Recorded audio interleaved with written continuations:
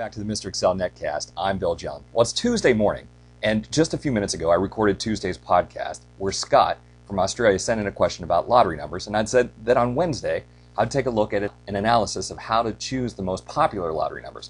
Well, I started to think about that, and the Mega Millions is up to 216 million. That's in about 11 states in the United States, and the drawing is Tuesday night.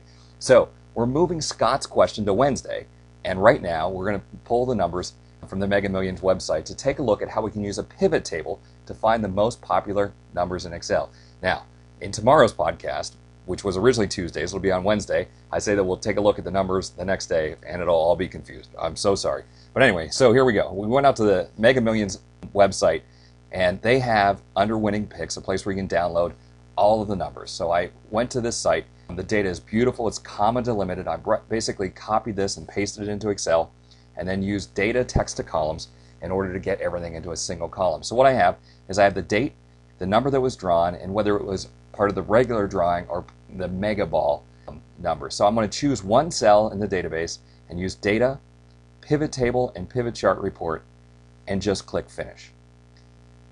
I get a brand new worksheet where I get a list of the fields in my original data set and a blank pivot table where I can drop things. So I'm going to take the number field and drop that along the left hand side. And as you'd expect, we'd see a list of numbers from 1 to 56. This particular lottery draws numbers from 1 to 56.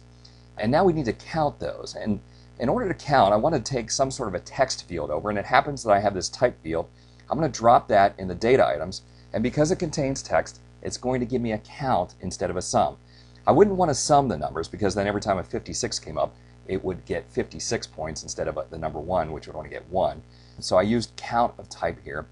Now I'm going to double click on the number button and then click advanced and say that I want to sort this descending based on the count of type.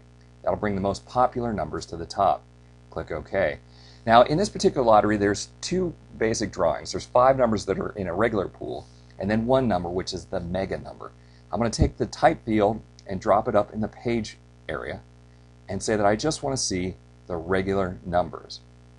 All right, so based on this, the five most popular numbers over the history of the lottery are 32, 5, 22, 47, 42, and 17. Now, there's a three way tie there. If you're going to play the lottery, you have to choose whether you're going to choose 47 and 42 or which combinations of those. Now, for the money ball, the, the fifth ball, the one that really makes things, uh, it really increases the odds here, basically. If I choose the money ball, you'll see that because I chose the auto sort under the advanced button, that even after I pivot the table, I choose a different filter, I still have the most popular numbers at the top. And this says that the most popular number that shows up in the money ball or the mega ball is the number three. So there you have it. Go out and play the lottery. If we all hit, we'll never have to watch the podcast again. Thanks for stopping by. Tomorrow we'll get to Scott's question. That was originally the Tuesday podcast. Now it'll be the Wednesday podcast.